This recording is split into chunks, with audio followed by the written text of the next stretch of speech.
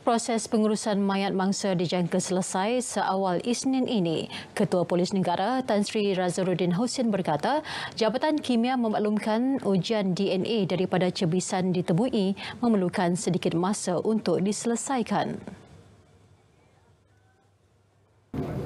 Daripada segi uh, postmortem dan juga untuk menguruskan DNA bagi waris-waris ini. Sampel-sampel macam saya cakap sebelum ini 22 sampel DNA telah pun diambil. Walau bagaimanapun daripada uh, rampak apa tu kita mengambil uh, panggil human human apa? Human. remain ini human remain ini ada yang tinggal badan ada yang kepala saja dan ada yang cebisan mengikut uh, unit forensik ada yang cebisan lebih kurang 200 lebih. Memakan masa untuk mendapatkan DNA-nya sehingga hari Senin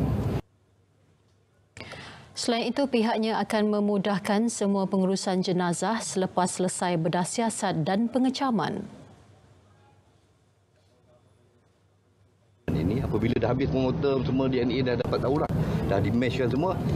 Daripada mandi solat dan kereta jenazah pun telah disediakan sejumlah 10 biji